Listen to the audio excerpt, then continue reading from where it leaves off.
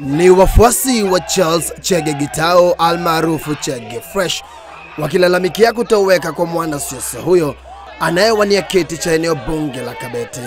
Chege alionekana mara ya mwisho siku ya Ijumaa baada ya kuachana na dereva wake. na kulingana na venye dereva wake amenielezea, walikuwa na yeye mpaka saa kitu saa sita hapo Kikuyu, akadrop dereva wake na yeye akajiendesha akielekea nyumbani.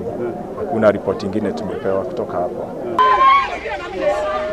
Asubuhi ya leo, jamaa na marafiki walishtushwa na taarifa kuwa gari lake limepatikana likiwa limeachwa karibu na bwawa la Rungiri, huku likiwa na mashimo ya risasi na kioo cha nyuma kikiwa kimepasuliwa kuashiria mashambulizi. Polisi hata hivyo wanawatia moyo jamaa na wafuasi wake.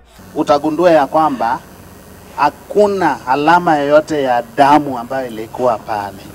Kwa mujibu wa polisi, simu na stakabadhi za Chege zilikuwa ndani ya gari, ila yeye hakujulikana aliko.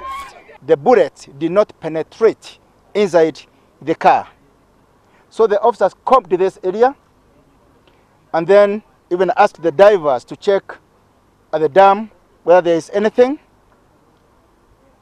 And nothing so far has been seen or heard. Na kadri muda unavyozidi kusonga ndivyo familia yake inajawa na wasiwasi na maswali chungu nzima. We are, we are still waiting for the information from the police and we are actually becoming impatient. Haya yanajiri takriban wiki moja kabla ya kufanyika kwa kura ya mchujo wa chama cha Jubilee.